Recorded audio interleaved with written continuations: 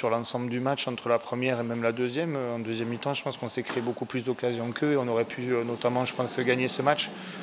Après, je suis très satisfait de ce que j'ai vu ce soir, dans l'aspect tactique, dans l'aspect aussi de l'envie, dans l'aspect du jeu.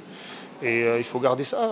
C'est l'exigence qu'on essaie d'avoir à l'entraînement tout au long de la semaine.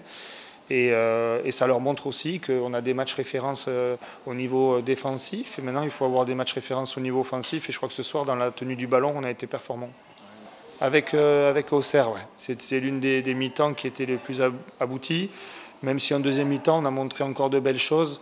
On a peiné un petit peu peut-être dans les couloirs et devant mais euh, ça, demande aussi beaucoup d'efforts ce qu'on demande. Donc euh, euh, je, suis, quand même satisfait aujourd'hui de revenir avec, avec un point. Surtout par rapport à la première mi-temps, on peut nourrir quelques regrets parce qu'on a eu beaucoup de situations, mais on a pêché dans le dernier geste, que ce soit sur les centres, sur la frappe. Voilà, mais après, sinon, dans l'ensemble du match, je pense qu'on a respecté le plan de jeu. On était à la hauteur défensivement et c'est dommage, il manque juste ce but. En deuxième mi-temps, c'était un peu plus compliqué parce qu'eux aussi, euh, ils ont mis peut-être un peu plus euh, de qualité technique, un peu plus d'impact, mais je pense qu'on a été solide quand même. On n'a pas concédé euh, beaucoup d'occasions, pas beaucoup de situations.